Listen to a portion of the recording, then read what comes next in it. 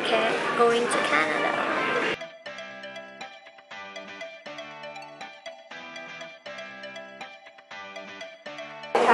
Hoy, Davey!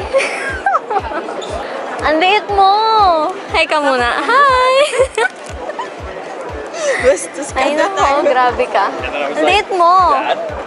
I have a Sobrang liit mo! OMG! Galing ako sa Miami. The the sexiest place on earth. Oh.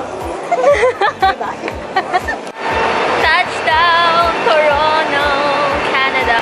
Wala daw siyang pamasahe. Susundo-sunduin niya ako. Tapos wala pala siyang pamasahe.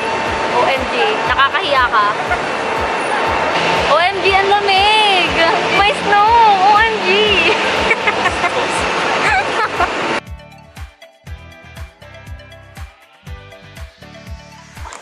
Are we going? Hi! Going to a Filipino restaurant. Okay, day one, we're going to the Filipino restaurant.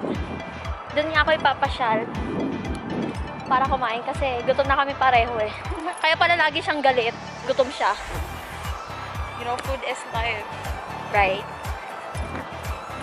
OMG, thank you sa change. Thank you sa mga barya-barya lang po. Pupunta ako dito, wala akong dalang pera or wala akong dalang barya. Sorry ah.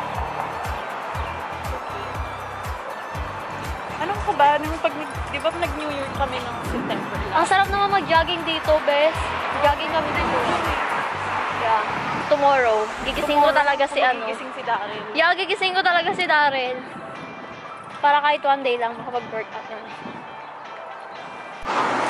Have 325 change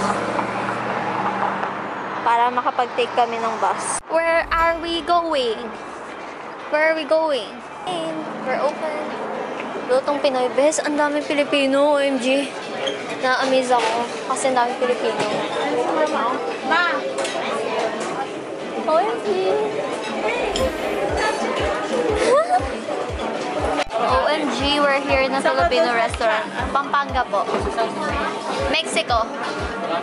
Ang daming Filipi Pilipino. Ayan, kakain kami ni David dito. Sa restaurant ng kanyang ina. OMG, ang daming... Oh. OMG, ang sarap ng pagkain namin.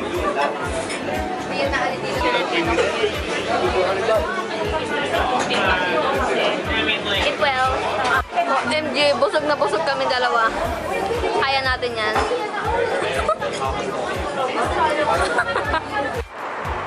Second destination, Chat One Tea Bubble. We're gonna have our bubble tea. Solid.